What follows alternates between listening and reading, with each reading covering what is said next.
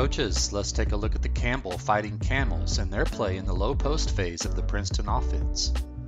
We'll examine how the dribble 1 option sets up naked drift screens and step up ball screens. While you're here, make sure to like this video and subscribe so you don't miss any future breakdowns. It's common for Campbell to guard cross in the backcourt as they enter the offensive end. Here they go guard cross into low post when they pass ahead to the wing. Passer cuts away to the far corner, and the wing may enter to the low post or pass to the player filling the point. But in these clips, the Camels will exercise the dribble 1 option.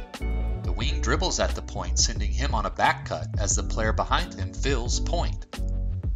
Upon the pass to the point, we see the naked drift screen set by the center who is rising behind the dribble at. The dribble in the pass moves the defense one way, then the ball comes back against the grain of that movement in a bit of misdirection toward the open half of the floor.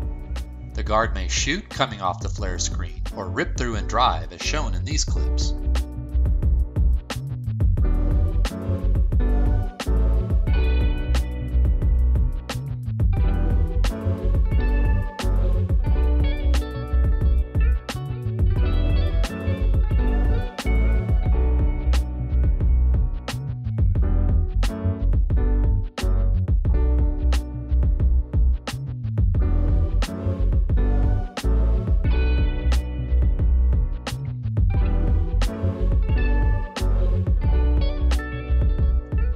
Once again, guard cross in the backcourt, into low post when they pass ahead to the wing.